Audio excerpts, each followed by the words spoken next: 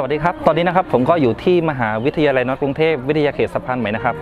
ซึ่งวันนี้นะครับที่นี่ได้มีการอนุบาลดาวเรือง เพื่อที่จะใช้ในการปลูกถวายเดชพระบาทสมเด็จพระเจ้าอยู่หัวรัชกาลที่9ของเรานะครับ ที่ทุกท่านได้เห็นอยู่ข้างหลังตอนนี้นะครับน้องๆก็ได้ร่วมกันปลูกอยู่นะครับ และที่เห็นในมือผมเนี่ยก็คือเป็นต้นดาวเรืองที่น้องๆ ร่วมกันปลูกนะครับ และตอนนี้นะครับเราก็อยู่กับน้องแพลนะครับ ซึ่งเป็นหนึ่งในนักศึกษานะครับที่มาร่วมกันปลูกต้นดาวเรืองในวันนี้นะครับน้องแพลครับกิจกรรมวันนี้เนี่ยมีวัตถุประสงค์เพื่ออะไรครับ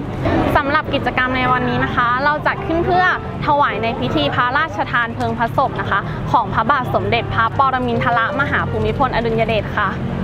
แล้วกิจกรรมในวันนี้เนี่ยมีการจัดทำอะไรกันบ้างครับสำหรับกิจกรรมในวันนี้นะคะ ก็มีการลำเลียงอนุบาลต้นกล้าดาวเรืองนะคะ ใส่ในลงในถุงดำนะคะจำนวน 500 ต้นค่ะแล้วก่อนหน้านี้นะคะ เรามีการลำเลียงต้นกล้าดอกดาวเรืองเนี่ยลงไปในถุงดำที่วิทยาเขตรังสิตนะคะจำนวน 1,500 ต้นแล้วค่ะ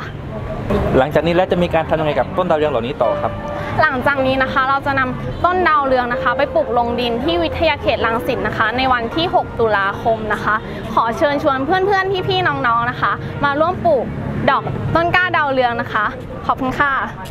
ครับก็อย่าลืมนะครับวันที่ 6 ตุลาคมนี้นะครับก็ไปร่วมกันได้ที่วิทยาเขตรังสิตนะครับ ซึ่ง